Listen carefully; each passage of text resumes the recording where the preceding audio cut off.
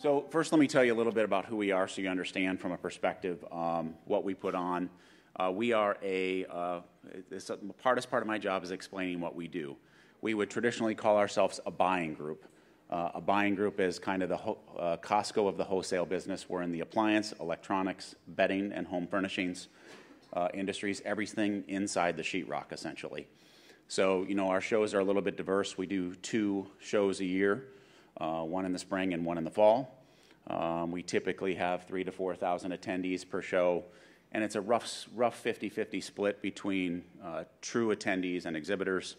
Um, you know, our format is not like an, is not unlike any of the other ones. It is, you know, you're typically going to have education, an expo floor, and some general business sessions that we run throughout our shows. So, going back, we've probably done shows for about 20 years. From a responsibility standpoint, I probably had the shows as a primary responsibility for probably the last uh, uh, just about three years. Um, we started by thinking about, you know, why do we do every single item on our show? And, you know, the first thing that we've always started about, what is our perfect event? What do we want it to be? What are we trying to get out of it? And for us, it's a little bit twofold. Because we work with vendors like Samsung and Whirlpool and LG, who all but two times a year, we spend time hammering on them for things like price and product and things we need. Then, when it comes to event time, they're our best friends because we're trying to get them to do bigger booths, sponsorship, all the same things that all of you are faced with. So, many times we have a little bit of a conflicting relationship. So, we, we really dug in and looked at our shows to try and see hey, what, what are the things that we're doing great? What are the things that we don't do so great? And really, why do attendees come back? Um, so for us, our perfect outcome is that every single one of what we call a member or a customer or an attendee, uh, how do we get every single one of those to come to one event a year? Now, you're never perfect and you're trying to get those, but that's really the outcome that we're trying to get. At the same time, we're trying to serve all those people that uh, pay for exhibit space.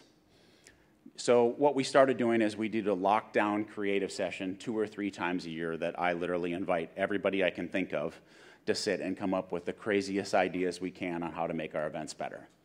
You know, and I have Francis and Tyrell come from Shepard and Wendy and all of our meeting staff. We come and we sit there, and, and usually it will start with, uh, as me being the marketing guy, I'll start with, you know, circus animals, uh, trapezes, and complete craziness, and then the people that have to execute it try and rein me in. Uh, on what we really can actually execute, right? So the first thing when the Cirque du Soleil thing came up with the chairs, Francis says, "No, we can't do that." So, um, but, but I saw it, and I know there's a picture, so I'm thinking we can. But, you know, so that, that's how we do these creative sessions, and it's, our shows have come a long way in the last three years. Uh, we were probably a good five to six years of a de- decline in attendance, both from a membership standpoint and a floor space standpoint, to now uh, we really don't have enough space. Uh, we struggle. We do not want to go to a true convention center, so we're very limited on the hotels. We have maybe 10 hotels in the country that we can fit in. You all know probably what those are. Uh, obviously, in Vegas, you got a couple choices, but outside that, there's not a lot. Because we don't want to go to that, now we're sold out, and now we're trying to do some other things to try and make it fun. So, you know, when we look at it, we have some unique, unique advantage that some of you may not have, in that for us, we run our shows more or less at break even. We're not trying to make money on them. Any money I raise on the shows, I can spend. So it is a little bit different in that it makes it a little more fun to do them. So if I can get somebody to pay for some crazy idea I have, circus animals or those chairs hanging from the rafters, I get to do it. So I, have some unique things and some unique flexibilities. Uh, but the sessions have literally changed every single item in our show, and I would encourage you all to think about your shows that way. And we dissect, we literally go through past agenda, every single item. Why do we do that? Is that the right time for it? What was attendance like? We do typical surveys, but we all know 5% of people fill out surveys, and the people that fill them out are either the people that always come or the people that were pissed off about something. Hey, you had the wrong kind of rum, or whatever the silly thing is that they write in their comments. But so you have to take surveys with a grain of salt, um, but you also want to use them as a little bit of guidance. And then we look at attendance numbers for every single item on there to try and gauge, okay, why didn't people go to that? And it may not be that the content was bad; it may be the title was bad, the timing was bad, whatever those things are. So we started with focusing on why members or attendees repeat, people that come every single time. You know, and from, from my standpoint, we look at our events really like a wedding. And as staff, we are the mother and father of, of the bride, right? So it's our job to make sure everybody has a good time. And everybody's been to a wedding that 45 minutes after the reception start, everybody leaves and it's a ghost town, right? But you've been to a good wedding where people stay till the very end and you're trying to pay the DJ. So the idea is how do you get people to like being there and have fun? And it is a lot of engagement and trying to manage that. We have the luck of a lot of alcohol at our shows that we pay for and a lot of things that stimulate some of that fun, but it's more than that. It is an individual attendee having a friend at a show. So as I go through this, I'll talk about some of these things if you have questions, and I only have 10 minutes, but, and we can answer some of them later. But we've even segregated down to groups, men versus women, young versus old, uh, the business type users. There's different type of people that attend our show, a big retailer, a small retailer, whatever that is. And then we've divided that down to based on what they want to, want to get out of it, and then we do specialty events for that type of user.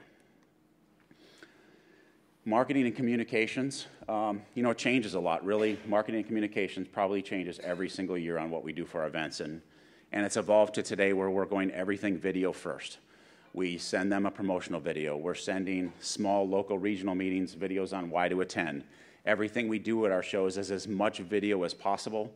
Um, I spend a lot of time in marketing because we also have an in-house agency.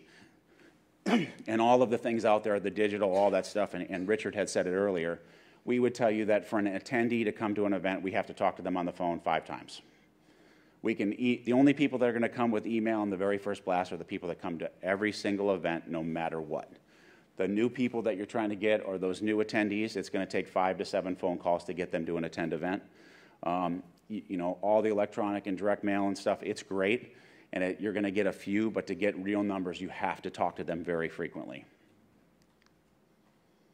Our expo, you know, we after we start after I started taking the shows, we implemented some rules. One, you need to make the expo floor fun. Fun, um, food, food, and more food. So we spend a bunch of money, but the one rule that we put in place: once our expo floor opens, there are no events allowed during the expo time. And you know, because the the exhibitors do spend so much money, the one thing we would get the complaint is even if, even if the show was good, highly attended, the people that had a bad show will blame it on the fact that you took people off the floor during the expo. So we flat out don't allow anything. If they want to have a training, if they want to have a session, if we want to do something, it has to be on the floor. Um, every meal from the second the expo floor opens is on the floor. Come 5 o'clock, the bars roll out. Um, some of our sponsorship package include bars, so we roll separate bars into those sponsorship booths. Um, we try and keep them there every possible minute we can. That's what makes us, from an exhibitor standpoint, a successful show. They want to feel, look, touch, busy. They want to have crazy amount of people in their booths and all the normal stuff that everybody would used to. The other thing is we try and help our exhibitors make their booths look better.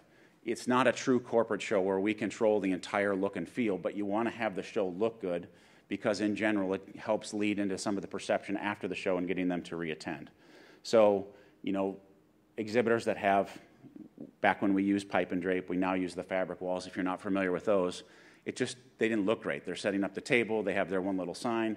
We're doing things, even if we have to spend money on signage or some other stuff to try and help them, um, simply to make the overall show look and feel better.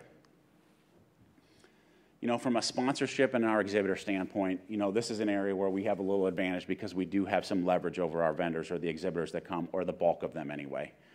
We personalize, we have the standard packages, kind of everybody does, and we probably call them gold, silver, platinum, diamond, whatever the dumb names are you come up, come up with. But every one of them starts at a package, and every single one of them is customized. Um, we offer every vendor that's going to have, and this you, you may not like this idea, every vendor that buys a sponsorship, there's two sheets for the same sponsorship.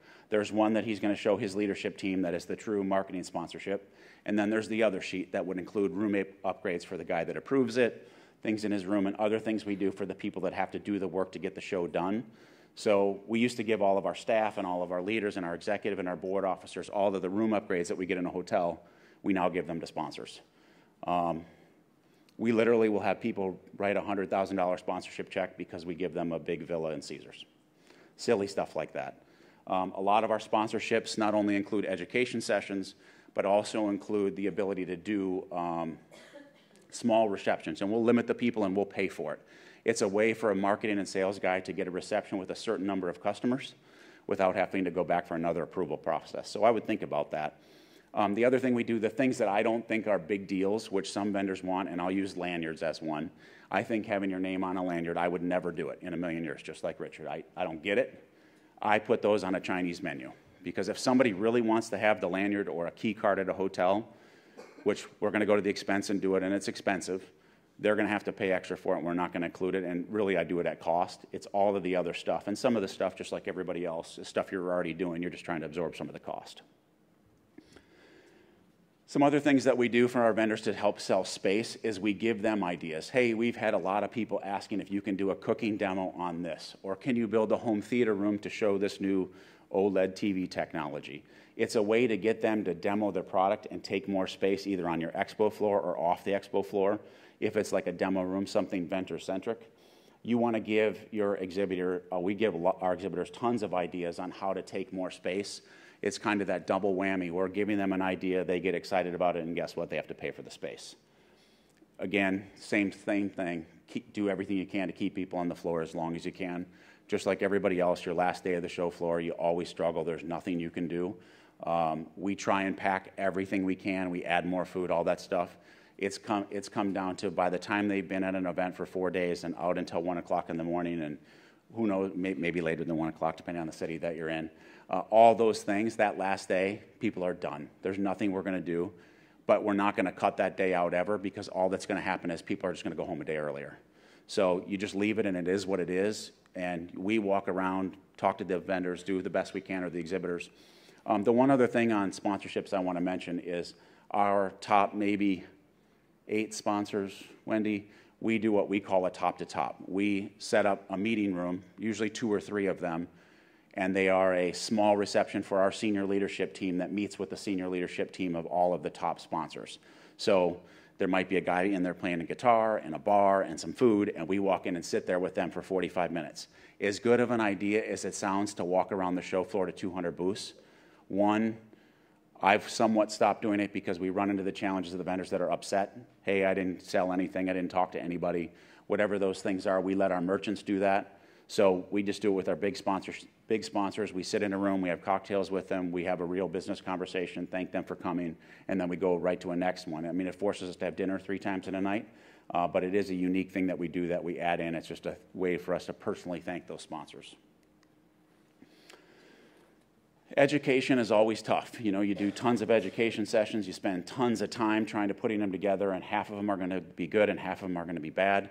The one thing we've learned is speakers need to be entertaining first. Um, people want to be entertained. If it is a bunch of slides that are boring, um, it's going to be boring and you're not going to get great reviews. Um, you know, it, it, it's tough. We are at this point now questioning the need to ever do a keynote again. We have our first show coming up in August that we are not going to do a keynote. Um, if you were to literally uh, ask your attendees, hey, here, here was our keynote, here's what we paid for them, I would tell you it's probably two out of 100 keynotes that they'll say were worth what you paid. Um, everybody's aware of those kind of keynotes between that twenty and fifty thousand dollar block. I would say two out of ten are good. The rest are terrible, um, and it's hit or miss. The people that you don't think might be great, might be aren't going to be good. They're rock stars. It's just, and the ones that are good, honestly, they're just funny. Has nothing to do with the story. Has nothing to do with what you learned. As much as people want to say, "I'm not going to come to your event until I know who the keynote is," that's just an excuse. Um, I personally am not like a keynote listener. I would rather interact with people and have roundtables or whatever it is. I don't think I take away a lot from a keynote unless it's funny. We had Joe Theismann, one of our best keynotes ever, and it was just, he was funny. He made fun of himself the entire time. People were dying laughing. We involve attendees in education with panels, different things like that, as much as we can. When people are hearing from their peers, they tend to get better reviews. Um, they get asked to come back more frequently. Um, we literally will when we do the surveys on our education sessions, uh, if it's in the bottom half, we just don't do it. We only will repeat the top half of survey, and we force make them force rank education that they go to.